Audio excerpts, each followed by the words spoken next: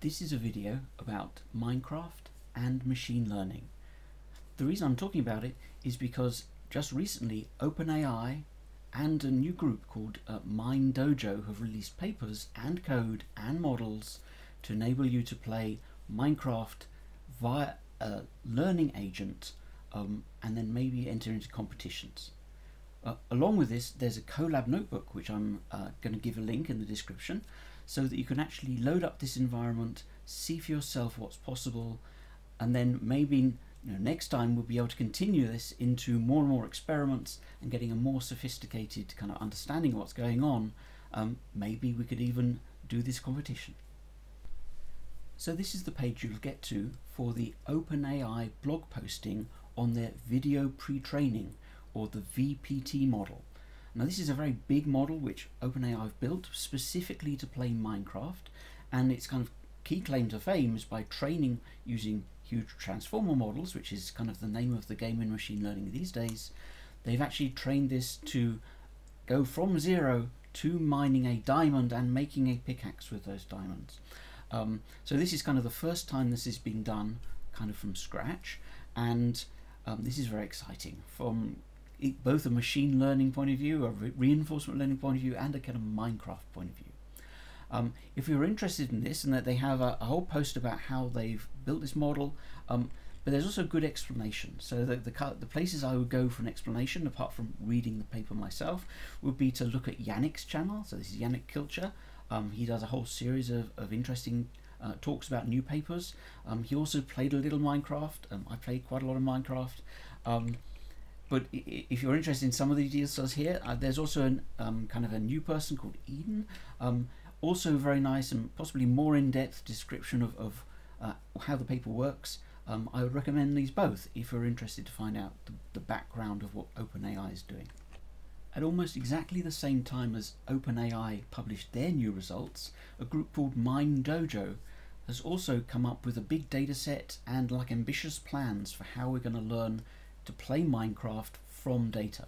Um, so their data set is uh, not only um, thousands upon thousands of hours of video, um, but also uh, contents of blog postings, um, Reddit chats, um, the full Minecraft, essentially the, as they say, internet scale knowledge base of Minecraft. So this is a very interesting kind of multiple sets of data. Um, they also come up with a little bit of code, um, but I'm going to come up with a, an alternative set of code because it will interleave with what OpenAI is doing uh, even more. But clearly there's going to be a good uh, crossover between these groups and what, what OpenAI is doing. Going back to OpenAI and some of the other stuff I'll be talking about later, um, there is a, a, repo on GitHub called MineRL or Mineral, depending on how you want to say it. And basically this embeds a small Minecraft server which enables an agent, i.e. the computer, to see the screen, do actions, and then see the next frame, and essentially play the game uh, frame by frame um, at however many frames a second you set it. So this is um, a fairly tricky package to get installed, and in particular, um, OpenVPT requires version 1.0, and in order to make it easier, I built a Colab notebook so you can use Google's Colab, which is a free cloud Jupyter notebook equivalent. Um, so you can actually load this up and, and play around with it yourself. And you'll see I've made some choices for this Colab, um, which will actually make it more efficient when you're doing it in the cloud. Okay, so let's get on to the code. Um, this is Google Colab. Um, I've got it loaded up. I'll leave a link to this in the description below. Um, basically, this is uh, taken over from one of the previous um, MineRL intros, um, but I wanted to like specifically make this for Colab, and so there are a few tricks um, that you know would help be very helpful. Now, one thing to note is that this will initially load in a an environment without a GPU. So Colab enables you to have a CPU instance, a GPU instance, or even a TPU instance, all for free, run by Google. So this is extremely helpful um, for machine learning um, experiments, and you know, it's kind of a go-to thing if you just want to play around quickly because it's all set up, ready to go. Now I've left this one in a CPU instance and I'll, I'll explain why. Um, the key thing is that actually installing this software is not easy and it is moreover it's time consuming. So the original setup that you would do, and this I would say you would do for every time you start this notebook, you actually install a specific version of the OpenJDK, um, which is Java, and these other packages, and it takes about a minute to run this cell. And the next cell would take about 22 minutes to run. So this is actually, this is installing MineRL, for instance. Um, in particular the proper version of MineRL, and a couple of extra things to enable it to be rendered in Colab. So because this is 22 minutes, I only really want to do this once. And so in this notebook, I've got a few tricks to make it so you do it once and you can then save off that um, pre-installed version onto your Google Drive.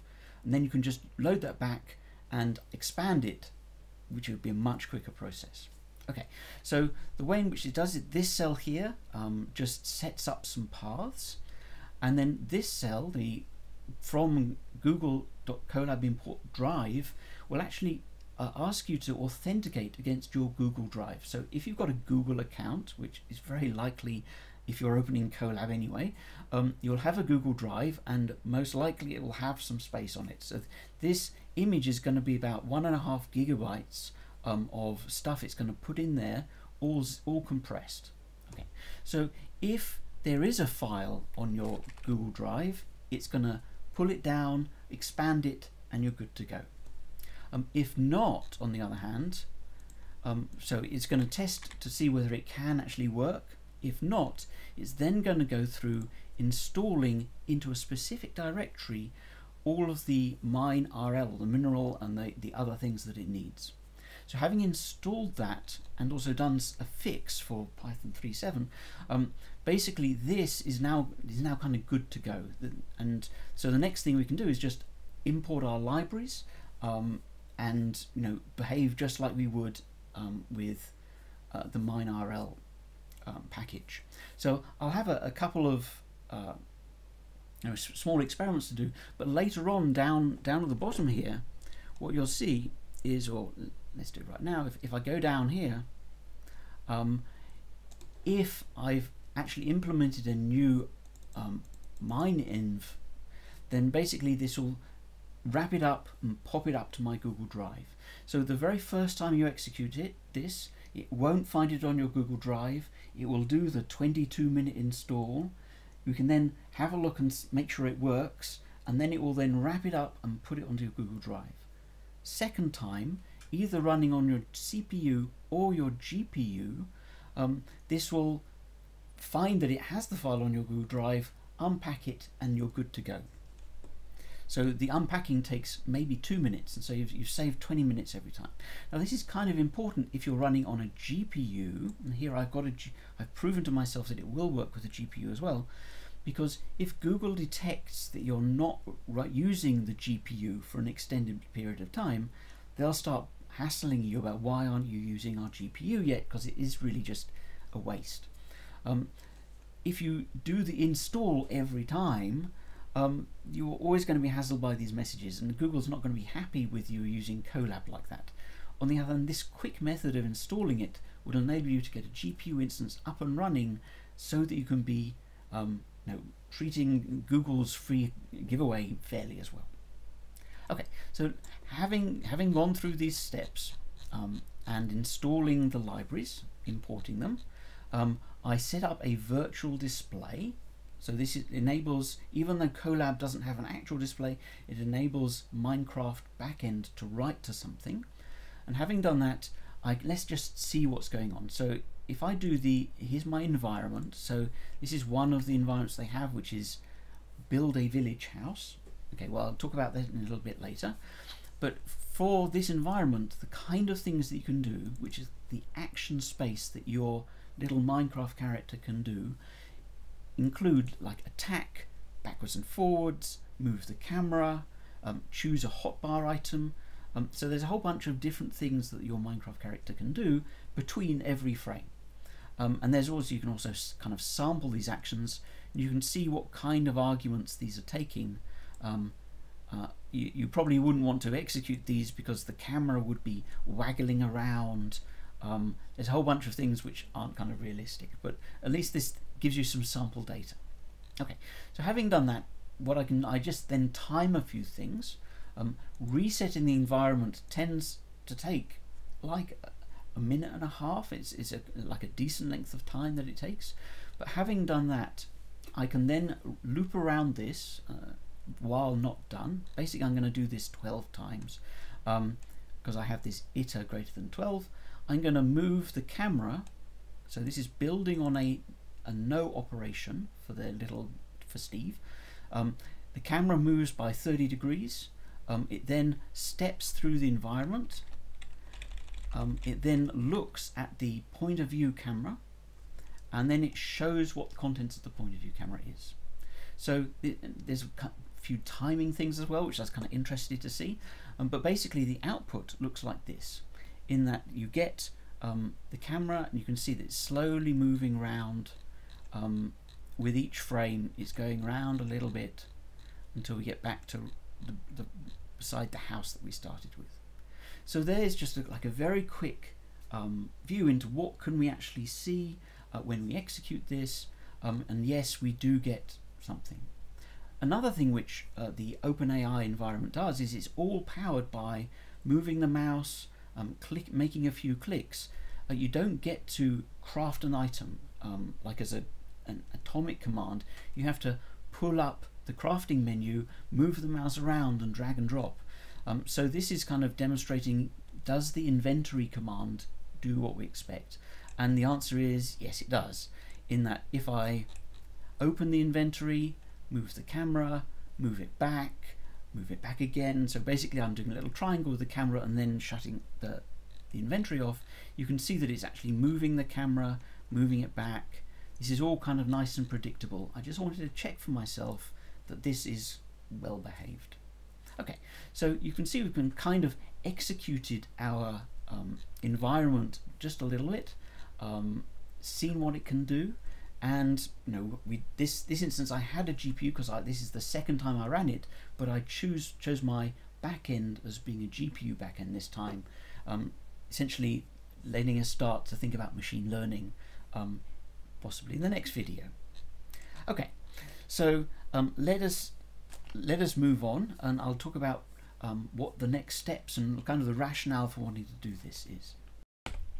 Okay, so one of the reasons that OpenAI's release and that MineDojo's release is, is very appropriately timed is that there is a competition called the Basalt Competition 2022. Um, this is going to be a public competition with a leaderboard and all that kind of stuff um, based upon doing a few things. There's another one called the Diamond Competition, but I think I'm going to focus on Basalt for the moment um, for a reason you'll see very shortly. The Basalt tasks, there are four of them, and the task, first task is find a cave. So basically, you might be in whatever biome, you're going to have to run around, find a cave, go in it, and stop. And so this is a fairly a fairly simple task, but it also proves that can you run around basically without falling down a, a ravine or trying to swim in water. When you actually see these things, um, these agents trying to perform these tasks, they will make horrible errors. They will just continually run into a wall uh, un until they until time is up. That they will do things which a normal Minecrafter will never do because they've had to learn about this environment just by seeing these pictures. They come with no uh, preconceptions about where is the sky or what is water or what is a hole in the ground. Um, basically, they learn everything from what they see in front of them. Um, so finding a cave, simple task for a human, um, but you know there's there's a lot of things which can go wrong along the way. Um, the make waterfall, I'm sure you can read here too. Basically, they're going to put you near a mountain. Um, what they want you to do is kind of run up the mountain a bit put a block of, blob of water at the top so you get a nice waterfall.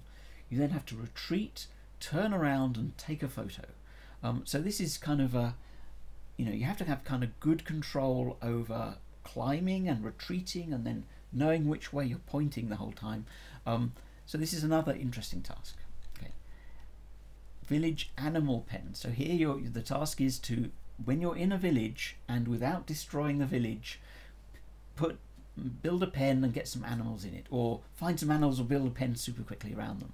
Um, so this is this is getting more difficult. If you try to build a pen around animals, you, will you'll understand how it's not so easy. They do keep running away, um, and you know maybe there's other things you do, like have some wheat, tempt them into your pen once you've built it, all this kind of thing.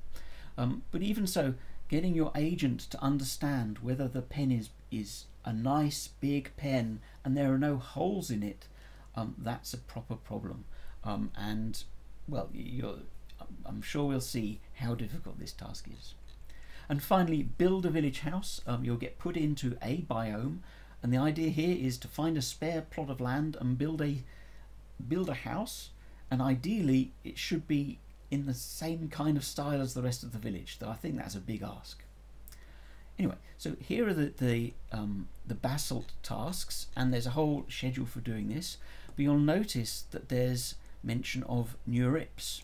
So the Basalt competition is a NeurIPS competition this year. NeurIPS is like the biggest machine learning um, conference. It's like the highest regarded. Um, there, there, are some other, but it's definitely a top tier conferences. There are definitely um, other top tier conferences, but NeurIPS is kind of like a um, holds a special place. So um, if I move on to the next slide, that this is the NeurIPS competition slide, um, and it explains how you know what they're going to do, how the evaluation is going to work. This is an, an academic conference to which regular people can can submit. You know, it's, it's a it's just like a um, a Kaggle competition in the sense that anyone can do it. Um, if one was successful, one you could then write up a paper and be like an author at this NeurIPS uh, workshop. Um, that would be that would be a great thing. Um, so this is this is kind of a bait to get people to do this uh, this competition, um, as well as the kind of the learning which would go along with doing this. So um, here's kind of the, the reason for getting interested right now in learning to play Minecraft via computer um, is that there is a competition towards the end of the year. I guess um, the competition finals are in October, the results are announced in November, and the actual conference is in December. Um, now is a good time to get involved because everyone's just about to start training their things um, starting I think July the 1st. Right, that's it from me.